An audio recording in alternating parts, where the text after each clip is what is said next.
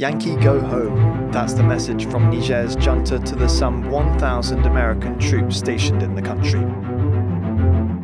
In March 2024, Niger made news when it became the first African country to end military cooperation with the United States, signifying a dramatic shift in geopolitical dynamics. U.S. authorities are currently negotiating with Niger's military administration in an attempt to save their presence and military facility in the country. However, the conclusion of these negotiations is still uncertain raising concerns about the future of U.S. influence in the Sahel region and across Africa in general.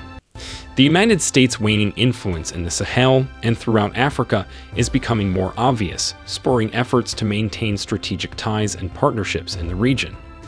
Despite the difficulties in retaining its foothold, the United States is hesitant to abandon its influence totally and is looking at ways to persuade African leaders to join its cause. Engaging with regimes notorious for corruption, human rights violations, and repression demonstrates the difficulties and compromises inherent in geopolitical maneuvering. The visit of U.S. military commandos to one such country emphasizes the strategic necessity of securing African alliances, even if it means siding with governments with questionable human rights and governance records. While the United States struggles with its declining influence, the dynamics of power and influence in Africa continue to shift, posing both problems and possibilities for international entities attempting to establish their interests in the region. The recent visit of U.S. military officials to Equatorial Guinea was an intriguing development in international relations, especially given the country's notorious reputation for political oppression and human rights violations under the leadership of President Teodoro Obiang Nguema Sissoco, who has been in power for over five decades. While the term visit may imply a pleasant contact, the officials' presence was far from recreational. They arrived to offer humanitarian aid and financial support on behalf of the U.S. government. The United States is interested in establishing and strengthening ties with the leadership of Equatorial Guinea, which is located in Central Africa. Despite concerns about President Teodoro's autocratic administration, the U.S. sees cooperation with Equatorial Guinea as a strategic opportunity to increase its influence in the area. The donation of humanitarian aid, described as the most recent attempt to court President Teodoro, highlights the delicate balance between humanitarian relief and geopolitical manipulation. Commander Michael White, the defense attaché to the United States Embassy in Equatorial Guinea, expressed optimism that the aid delivery would pave the door for future collaboration between the two countries. Similarly, U.S. Ambassador David Gilmour expressed hope that the delivery of medical supplies will act as a catalyst for future collaboration with the Equatorial Guinea government. This approach represents the United States' complex approach to interacting with countries with questionable governance records, which involves balancing humanitarian concerns with geopolitical goals in fostering diplomatic ties and strategic alliances. Ordinarily, this engagement between the United States and Equatorial Guinea is not supposed to be a bad thing because it's normal for countries to seek engagement with each other. However, for a country that supposedly prides itself on pushing for democracy, human rights, and anti corruption, the fact that the United States is willing to work with a regime that is the complete opposite of what it stands for just because they want to maintain a military foothold in Africa proves to the world how hypocritical the United States is. Before we get into the hypocrisy of the United States, consider President Teodoro's corrupt and brutal dictatorship. Equatorial Guinea is Africa's third smallest country, with a population of approximately 6 million. Equatorial Guinea, like most African countries, has abundant natural resources, especially oil. Interestingly, this small Central African country is one of the most rich in Africa, with a GDP ranking of 31st in the world and a Human Development Index ranking of 9th in the continent. However, 70% of the country's population lives in poverty because the government and the country's elite control more than enough wealth for less than 2 million people. The problem, as in many African countries, is with the leader, President Teodoro Obiang. Following Equatorial Guinea's independence from Spain in 1968, Francisco Macías Nguema, who had previously held many roles during colonial administration, was elected as the country's first president. He ruled with an iron fist for the following 11 years. Equatorial Guinea was subjected to widespread repression, purges, and executions during his reign. According to some estimates, one third of the population was either slain or forced into exile. Macia's government is usually recognized as among the world's most violent and tyrannical.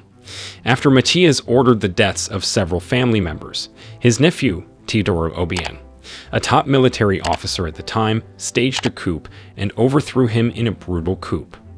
Since then, President Teodoro Obiang has ruled Equatorial Guinea unopposed, making him the Teodoro's authority was initially thought to be more humanitarian than his uncle's. But as time passed, it got more violent and authoritative. Even though it is a democracy and corrupt, there are opposition parties, but it is commonly known that President Teodoro wields absolute control in the country. Every election held in the country has been controlled and rigged to keep the president in power. In a government that claims to be democratic, President Teodoro is effectively a life president. Reports about human rights, extrajudicial killings, torture, harsh punishment, arbitrary arrest, and political imprisonment by the state are documented in detail. It also uncovers widespread corruption at all levels of government, particularly at the top. Despite the fact that the country's wealth is more than adequate for the population, President Teodoro and members of his inner circle continued to build personal fortunes from the earnings connected with monopolies on all domestic commercial endeavors, as well as timber and petroleum exports.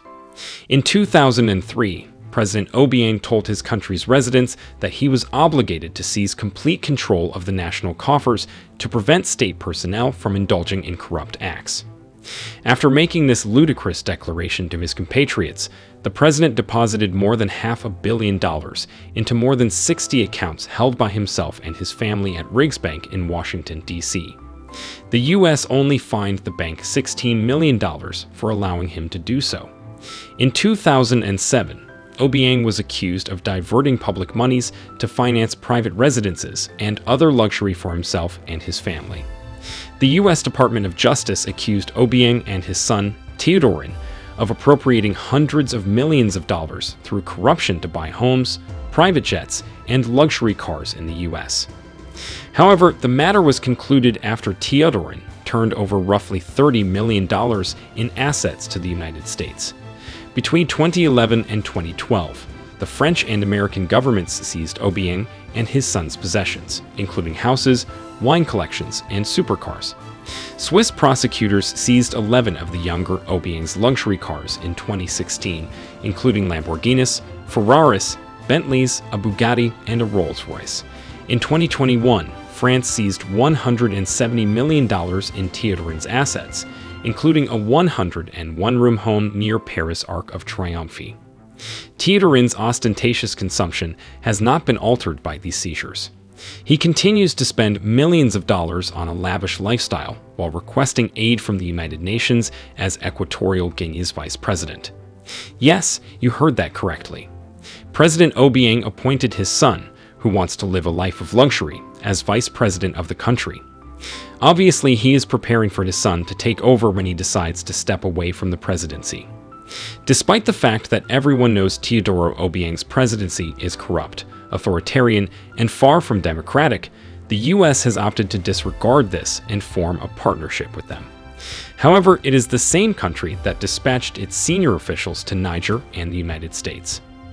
Isn't it hypocritical to tell them that the only way to continue its collaboration with Niger is for Niger to hold an election, indicating a move from military to civilian control, and to end any alliances with Russia and China, both of whom are undemocratic countries?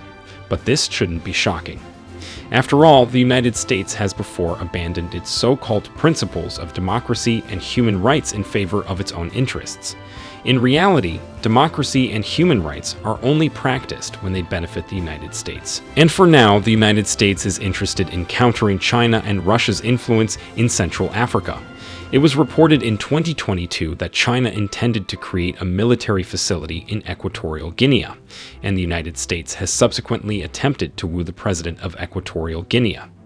So the sole military base in the country will be that of the United States. Following the February donation of $24,000 in supplies, including infant formula and first aid kits, the Army issued a statement stating that U.S. forces collaborated with the government of Equatorial Guinea to achieve this engagement, indicating long term cooperation between the two countries. And for now, the United States is interested in countering China and Russia's influence in Central Africa. It was reported in 2022 that China intended to create a military post in Equatorial Guinea, and since then, the United States has been attempting to woo the president of Equatorial Guinea, so that the only military base in the country will be that of the United States. Following the February donation of $24,000 in supplies, including infant formula and first aid kits, the Army issued a statement stating that U.S. forces collaborated with the government of Equatorial Guinea to achieve this engagement, indicating long term cooperation between the two countries. Hopefully, it all ends one day. What are your thoughts? Let us know in the comments section below. Don't forget to like, subscribe, and share this video.